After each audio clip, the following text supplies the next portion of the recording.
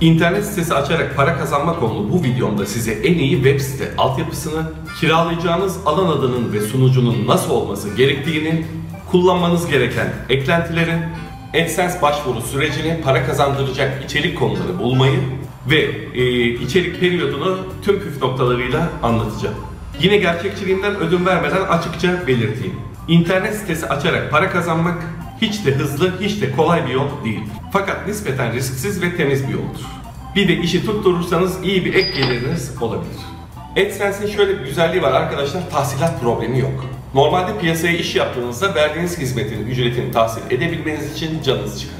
Defalarca üstelemeniz gerekir. Her sorduğunuzda haftaya inşallah. Vallahi birader bak, aa, aa, ben de tahsilat yapamadım. Bu ay yüklü miktar bir ödemem oldu. Biraz idare et. Ya da biz borcumuzu inkar etmeyiz arkadaş ama ödemeyiz de gibi cevaplar alırsınız. AdSense size son ay ne kazandıysanız ayın 21'inde hop diye banka hesabınıza yatırır. Yani oradan gelen 100 lira bile piyasadan zor bela kazandığınız ve tahsil ettiğiniz 1000 liradan çok daha tatlı gelir.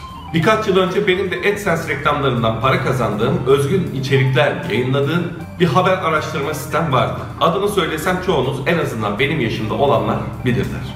Ama söylememeyi tercih eder. AdSense'den yani internet sitesinden para kazanmaya 2013 yılında başlamıştım. 22 Ekim 2013 tarihinde 336 liralık ilk ödememi almıştım. 2013 e, Ekim ayında kazanılan 336 liranın değeri 2019 yılı Ağustos ayının 625 lirasına eşit. Çünkü o tarihten bu zamana kadar açıklanan tüfe oranlarına göre enflasyonda %85.50 artış olmuş. Neyse o yıldan sonra da e, ortalama böyle 2-3 ayda bir ödeme almaya devam ettim. Sonrasında kapattım. E, işte madem kazandırıyordu niye devam etmedin diye sorabilirsiniz. Çünkü mevcut sabit işim ve freelance e, işlerin çok yoğun bir hal almaya başlamıştı. İçerik oluşturacak vakit bulamıyordum. Bir haber sitesinde içerik yayınlamaya ara verdiğiniz anda düşüş başlar. Her gün düzenli olarak 3-4-5 içerik girmelisiniz.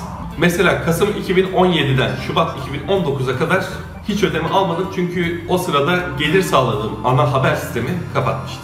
Sadece işte serdarsezer.com blogun üzerinden e, eski yazdığım içeriklerden bir şeyler geliyordu. Orada da çok sık, çok güncel içerikler yayınladığım söylenemez. Çünkü oraya içerik girecek vaktim de pek yoktu. Orayı bir not defteri olarak e, kullanıyordum daha çok. Siteyi kapatmayayım, birilerine %50, %70 pay karşılığı devredeyim diye düşündüm.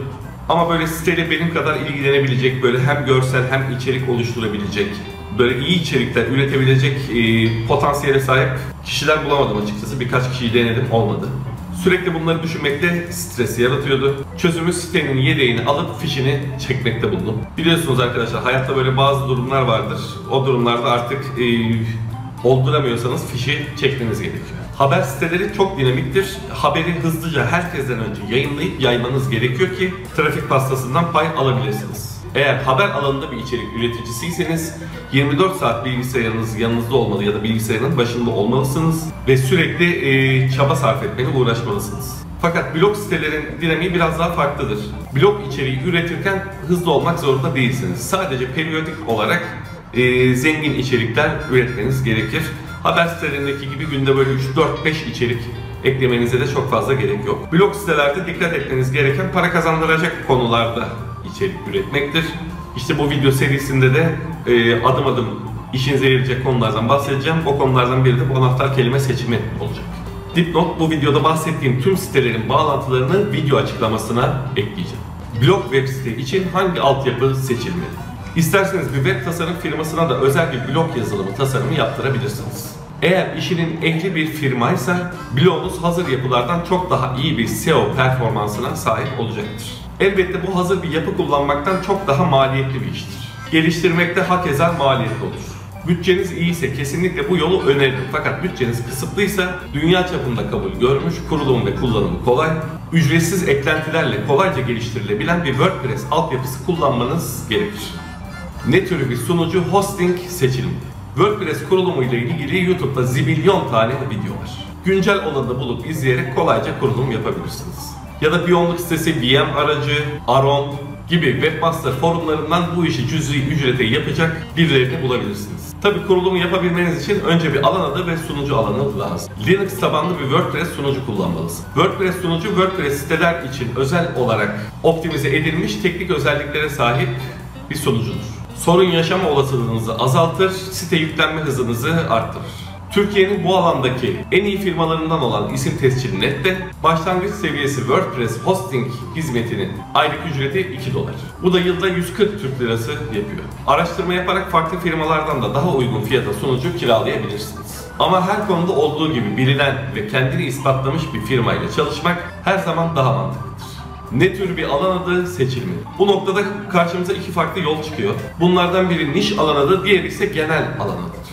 Niş alan adı içerik üreteceğiniz konunun başlıca anahtar kelimesini içeren alan adıdır. Mesela sadece deri montlar üzerinde içerik üretecekseniz deri mont anahtar kelimesi içeren derimontdunyası.com alan adı tercih edilebilir. Böyle bir sitede sadece deri montlarla ilgili içerik üretmelisiniz. Niş siteler aynı konuda e, içerik sundukları için SEO, reklam tıklanması ve reklam görüntülemesi açılarından çok daha iyi performans gösterirler. Çünkü Google Ads aynı konudaki içeriklerin bulunduğu bir sitede o konuyla ilgili reklamların daha çok yayınlanabilmesini sağlar. İlgilendikleri konu hakkında bilgi alan ziyaretçilerin de o konuyla ilgili bir reklama tıklama olasılıkları çok daha yüksek olur. Örneğin dekorasyon ürünleri, kişisel bakım ürünleri, otomobil ürünleri gibi karışık konularda içerik üreten bir sitede genel liste sayfalarında e, çok fazla farklı, çok farklı konuda reklam çıkar. Detay sayfalarında ise her zaman o konuya ilişkin uygun içerik yayınlanmayabilir. Dolayısıyla niş ve genel içerik sahibi e, iki siteyi ele alır ve e, trafik, görüntülenme süresi ve ziyaret gibi tüm metriklerin eşit olduğunu varsayarsak niş sitede yayınlanan Verimont makalesinin kazancı genel içerik yayınlayan diğer siteye göre daha yüksek olur. Niş alan adı yapısında ve içeriğindeki bir sitenin dezavantajı ise şudur. Dar bir konuyla ilgili sürekli olarak yeni içerikler üretmek hayli zordur. Dolayısıyla bir noktada tıkanır yani sürdürülebilir değildir. Diğer bir dezavantaj da trafik sadece belli bir konudan geldiği için düşük olur. Genel alan adı ise adı üzerinde genel bir anahtar kelime içerir. Mesela alışverişgündemi.com ya da marka haber gibi alan adları geneldir. Böyle bir alan adı kullanarak pek çok farklı konuda içerik üretebilirsiniz. Bu tip sitelerde dolaşım trafiği fazla olur. Örneğin deri mont konusunu okuyan bir ziyaretçi, ilgili konular alanında bu yıl deri montların yerine şişme montların moda olduğu ile ilgili bir içerik görürse buna geçiş yapar ve bunu okuyarak devam eder. Sonrasında başka bir konu, sonrasında başka bir konu derken çok sayıda farklı sayfa gezer. Amiyane tabirle niş siteye göre daha çok sürüm yapar. Fakat tıklama ve görüntüleme ücreti çok daha düşük olur. Eğer bu işi ilk kez yapacaksanız içerik üretme kolaylığı nedeniyle genel alan adını tercih etmenizi öneririm. Alan adında hangi uzantı kullanılmalı? Biz SEO'cular geleneksel olarak com uzantılı alan adlarının daha iyi indekslendiğine inanırız. Gerçekten de Google'a herhangi bir anahtar kelime yazdığınızda ilk sayfada listelenen sonuçların çoğunun com uzantılı sitelere ait olduğunu görürsünüz. Com'un ardından da net ve org gelir. Alan adınızı aratırken com, net ve org uzantılarını mutlaka seçin. Eğer düşündüğünüz alan adı başka biri tarafından daha önce kiralanmışsa anlamı bozmayacak şekilde önüne e, ardına kelimeler ekleyerek farklı varyasyonlar deneyin. Bunu yaparken de kelime öbeğinin çok fazla uzamamasına dikkat edin. Eğer pek çok mantıklı varyasyonu alınmışsa ve ancak uzun bir e, kelime öbeğine sahip bir alan adı alabilecekseniz vazgeçip başka bir isim düşünün. Çünkü böyle tren gibi bir alan adıyla başarılı olmak oldukça zordur. Alan adını da e, yine isim tescil netten yıllık 8 dolara yani yaklaşık 45 Türk lirasına kiralayabilirsiniz. Buraya kadar 2019 Eylül ayı itibariyle sunucu ve alan adı için toplam 185 liralık bir bakiye bir gider çıktı.